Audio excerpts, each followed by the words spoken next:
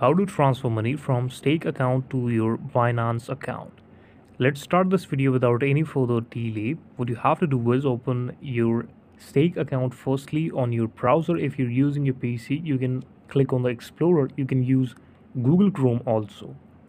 Now i will click on the binance here.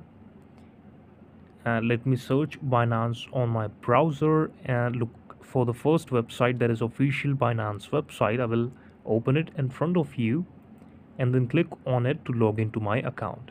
If you have the login credentials like your email ID and password that will be easy for you.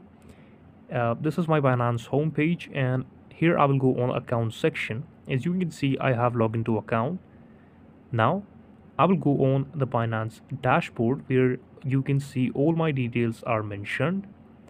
But what I have to do from this setting here you have an option to withdraw or deposit the money. You have to withdraw and click on the withdrawal button.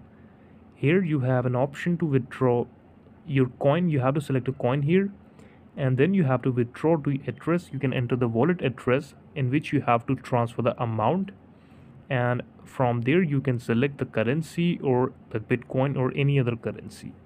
This is the video. Thank you so much for watching it. Please subscribe to the channel.